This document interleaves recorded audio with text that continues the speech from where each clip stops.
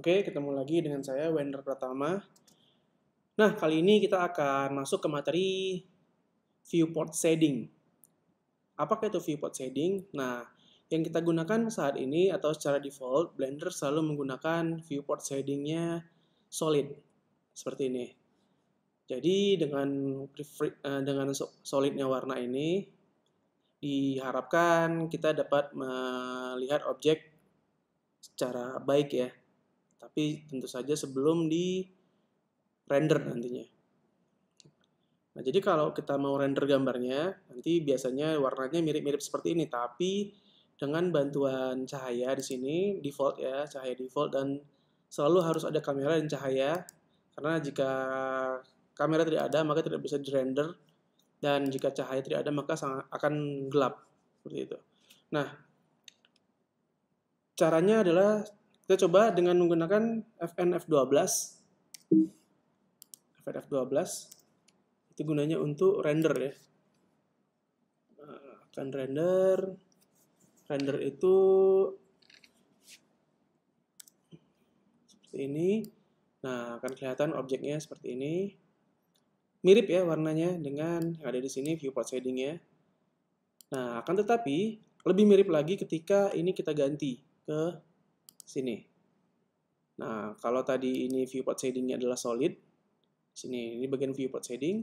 Di sebelah sini viewport shadingnya material preview.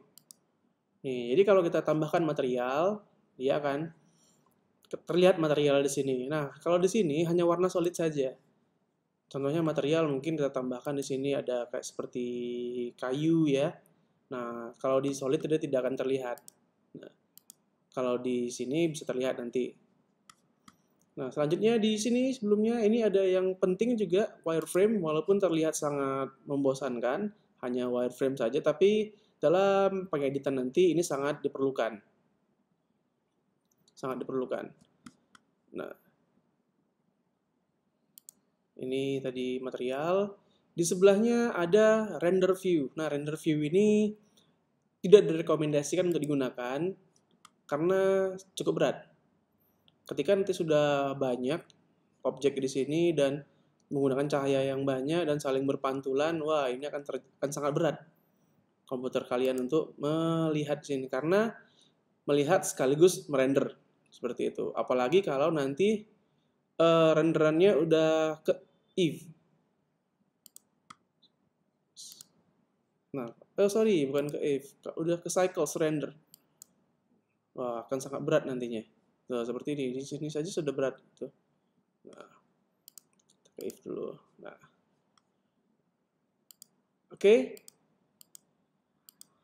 Untuk shortcut, biasanya digunakan shortcut Z untuk berpindah ke viewport, wireframe, dan solid. Saya selalu menggunakan ini terutama dalam pengeditan. Contohnya di sini di pengeditan Z, nah sangat berguna gitu. Guna yang lain apa? Kita contohkan seperti di sini. Saya akan menyeleksi, saya di sini saya akan menyeleksi bagian sini. Ketika ini bentuk solid, saya akan seleksi menggunakan tombol B. Ya, tombol B itu untuk box selection B. Hmm. Perhatikan saya seleksi, tapi yang terselect hanya satu saja. Nah, akan berbeda ceritanya ketika kita menggunakan wireframe. Contoh, saya buat wireframe di sini, saya seleksi. Nah, dengan box selection B ya, shortcutnya B. Kita lihat di sini. Nah, terseleksi dua-duanya dengan wireframe. Nah, walaupun terlihatnya membosankan, tapi ini sangat berguna. Terutama waktu pengeditan ya, teman-teman. Oke, untuk di sini, nah dengan Shift Z, dengan Shift Z itu kita bisa masuk ke render view. Dan dengan Alt Z kita bisa masuk ke uh, material view. Gitu.